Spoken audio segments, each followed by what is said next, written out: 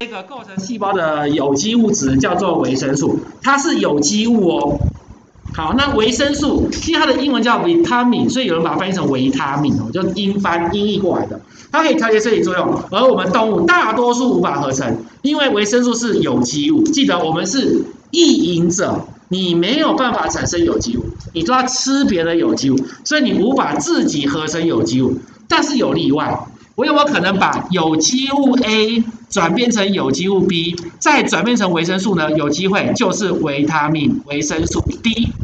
维生素 D 是一种胆固醇的衍生衍生物。我们的身体的皮肤晒了太阳紫外线，紫外线晒到太阳，呃，不是紫外线晒到太阳，紫外线照到皮肤，你皮肤会产生某种酵素，这个酵素会把胆固醇转变成维生素 D。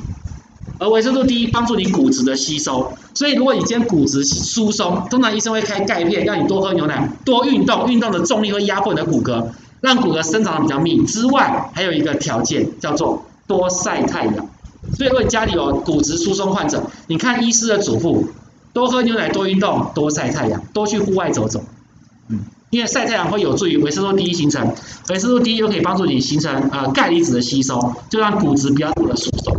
好，那维生素好多好多种哦，其中有十三种是我们常见的，好，包含维生素 A、C、E、K，它是脂溶性，剩下的全部都是水溶性。所以一般我们这边如果考试，会建议你只要记 A、D、E、K 这四个就好，这四个是脂溶性，其他全是水溶性。脂溶性如果吃多了没办法排泄，会中毒。所以如果你在吃营养补充品，如果有维生素 A、D、E、K，不适合吃太多。但是维生素 B 群啊，维生素 C 啊，吃太多了，水尿排掉，尿变得很黄就排掉就没事，它不会累积，好吧？维生素是有机物，它不是提供能量哦，它是调节生理作用。好，以上是维生素的介绍。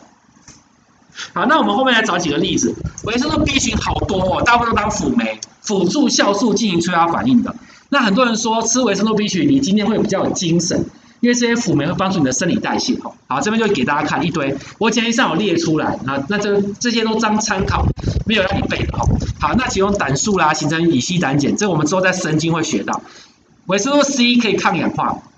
也跟胶原形成有关，所以它会帮助你红血球生成跟抗氧化的，好，这是水溶性，那脂溶性的，维生素 A 会跟呃你的视觉色素有关，形成视紫质。让你看清楚，所以维生素 A 不足的时候，晚上会先看不清楚，叫夜盲症，晚上看不见。再严重者就是失明，再严重者就会致命。维生素 D 呢，我们刚刚之前说过，说它会维生素 D 会转变成另外一个物质来帮助钙的吸收，哦，它是人体唯一可以自行合成。胆固醇经阳光产生酵素，活化酵素而且产生的。如果维生素 D 不够，小时候钙质吸收不好，长小时候叫做佝偻症，就是小朋友长得很矮小，而且有点变形，因为骨骼骨质不够好。但如果今天是大人的话，就是骨质疏松。好，那维生素 E 呢是会，维生素 E 其实不足，通常不会引发疾病，但目前认为跟某些不孕症有点关系。哦，所以是有相关，但是因果还不确定。维生素 K 是跟血液凝固有关，所以很多人是因为维生素 K 不足而造成血流不止，好像血有病，但却不是遗传疾病，是营养不良，